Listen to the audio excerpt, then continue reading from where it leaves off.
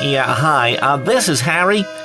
I used to be the head maintenance elf around here, but now I'm known as the Uncle, UNCLE, United Nuclear Chief of Lighting Effects. We decided to bypass the electric grid altogether with the lights this year and put in some nuclear power. We're not sure what's going on, but all the gauges and needles on the reactor are telling us to get as far away as possible. Our crew of Larry the Glow Johnson and Three Thumb Charlie are working to get everything stabilized so we can get the lights back on. I'm not sure what China has to do with this or some syndrome, but we'll get everything back to normal just as quick as we can. Stick with us, please.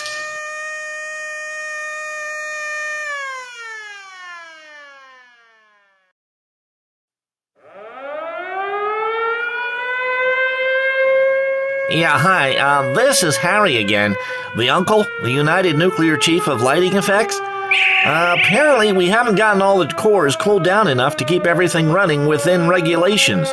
So we need to shut the reactor down and let it cool off. Yeah, we do apologize for the problems, and hopefully we can contain the issues and be back tomorrow night. Thanks and Merry Christmas!